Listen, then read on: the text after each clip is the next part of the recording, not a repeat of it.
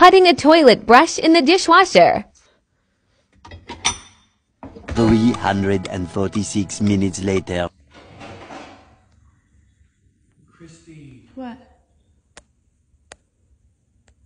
What? What? I had to clean it. I didn't want to touch it. Christy, you put this in the dishwasher? What's wrong with that? Desmond, it's a dishwashing cycle.